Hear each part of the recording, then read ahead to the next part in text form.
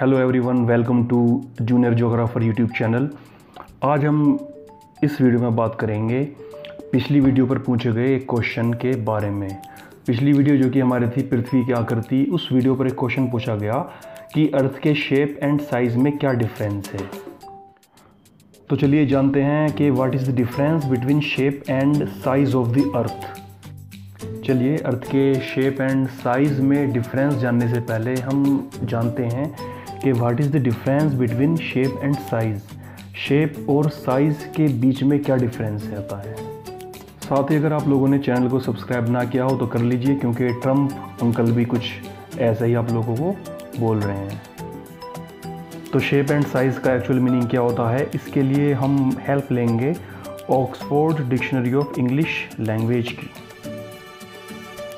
तो Oxford dictionary के according shape का मीनिंग है the form of the outer edges और सरफेसिस ऑफ़ समथिंग जैसे कि रेक्टेंगुलर शेप तो इसका हिंदी में मतलब हुआ कोई भी ऑब्जेक्ट या वस्तु अपनी बाहरी सरफेस या धरातल की वजह से जैसी हमको दिखती है, वही उसकी शेप कहलाती है। शेप को हिंदी में आकृति कहते हैं। जैसे कि पृथ्वी की आकृति, गोलाब है। जैसे कि इस पिक्चर में आप देख सकते हैं, पहली शेप सिलेंड्रिकल शेप है, दूसरी शेप पिरामिडिकल शेप है, तीसरा एक बॉक्स है। ये रेड कलर का जो है कोन हो गया, जैसे कि हम बर्थडे में लगाते हैं कोन शेप और पांचवा भी एक बॉक्स है और ग्रीन कलर में ये एक बॉल है। इस तरह से ये भी डिफरेंट टाइप की शेप्स आपके सामने हैं और साथ ही ये भी तरह तरह की शेप्स आपके सामने हैं। अब ये सारी शेप्स डिफरेंट क्यों हैं? क्योंकि जो इनकी बाहरी सरफेस है, बाहरी सरफेस अलग अलग होने की वजह से हमको ये सारी शेप्स अलग अलग नज़र आ रही हैं। सभी की आकृति एक दूसरे से डिफरेंट है, क्योंकि जो इनका आउटर सरफेस है वो डिफरेंट है। चलिए, ये तो हुआ शेप अब बात करते हैं what is the meaning of size so according to Oxford dictionary size tells you how large और स्मॉल अ पर्सन और थिंग इज़ साइज़ को हिंदी में हम कहते हैं आकार। तो आकार हमको बताता है कि कोई भी वस्तु कितनी छोटी है या कितनी बड़ी है। इस इमेज को देखकर आप आराम से पहचान सकते हैं कि what is the difference between shape and size जितने भी ये सारे बटन हैं, इन सब की जो शेप है, वो कैसी है? वो एक राउंड या सर्कुलर शेप है। लेकिन आप देखेंगे कि इन सब का जो साइज़ है, वो डिफरेंट है। बीच वाली जो रो है, वो नीचे वाली रो के मुकाबले सारे बटन साइज़ में छोटे हैं। तो यहाँ से एक बात हमारे समझ में आ सकती है, वो ये कि शेप सेम हो सकता है, लेकिन ज़रूरी नहीं कि उनका साइज़ भी सेम हो। ये कुछ और फिगर्स हैं जिनको देखकर हम आसानी समझ सकते हैं कि सबकी शेप सेम है लेकिन साइज़ डिफरेंट है। ये कुछ बसेस हैं, शेप लगभग सेम बट साइज़ डिफरेंट तीनों कप की शेप एक जैसी है, पर साइज़ डिफरेंट है। So let's come back to our main topic which is difference between shape and size of the earth जहाँ तक बात शेप ऑफ़ द अर्थ या पृथ्वी की आकृति की है, उसका लिंक इस वीडियो के डिस्क्रिप्शन में अवेलेबल है, क्योंकि पृथ्वी की आकृति कैसी है उसको हम पहले ही डिस्कस कर चुके हैं। उस वीडियो को देखिए और जानिए कि पृथ्वी की आकृति कैसी है और क्यों है। रही बात साइज़ ऑफ़ द अर्थ या पृथ्वी के आकार की तो उसके लिए हम साइज़ की जगह डायमेंशन ऑफ़ द अर्थ या पृथ्वी का आयाम कहना ज़्यादा सूटेबल होगा। इस चार्ट की हेल्प से हम अर्थ के डायमेंशन के बारे में जानेंगे। जैसे कि चार्ट से हमको साफ़ शो हो रहा है।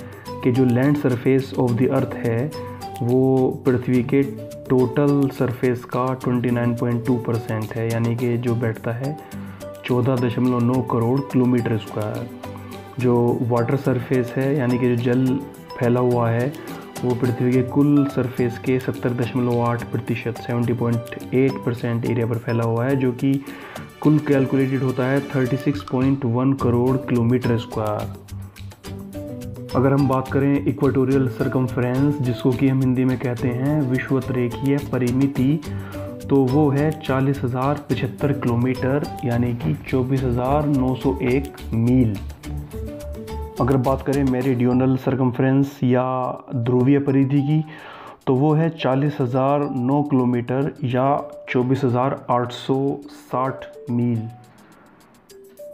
So no what is equatorial circumference and meridional circumference तो विश्वत्रेखीय परिधि या इक्वेटोरियल सरकमफ्रेंस का मतलब सिंपल सा है कि अगर हम विश्वत रेखा से होते हुए दुनिया का चक्कर लगाते हैं, जैसे कि सपोज़ विश्वत रेखा फ़िलहाल अफ्रीका से होकर जाती है और हम विश्वत रेखा के होते होते होते होते अमेरिका पहुँच जाते हैं, फिर ऑस्ट्रेलिया के ऊपर से होते हुए वापस अफ्रीका में उसी पॉइंट पर आते हैं।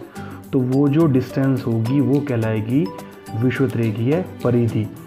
Same goes for meridional circumference या पोलर सरकमफ्रेंस या ध्रुवीय परिधि।